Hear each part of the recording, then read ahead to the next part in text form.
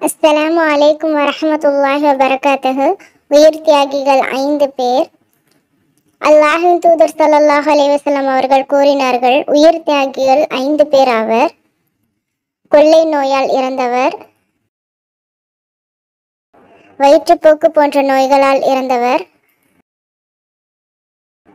தண்ணீரில் மூழ்கி இறந்தவர். வீடு கட்டிடம் ஆகியவை இடிந்து விழும்போது இடுபாடுகளில் சிக்கி இறந்தவர். இறைவழியில் அறப்போரில் ஈடுபட்டு இறந்தவர். இந்த ஹதீஸ் புகாரில இரண்டாயிரத்தி எட்நூத்தி இருபத்தி ஒன்பதாவது ஹதீஸாக வந்துள்ளது. இந்த ஹதீஸை அபுஹுரேரா அலி அல்லாஹன்ஹா அறிவிக்கிறாங்க. அஸ்லாம் வலைக்கம் வரஹ்மத்துல்லாஹி வபரகாத்துஹு. Thanks for watching.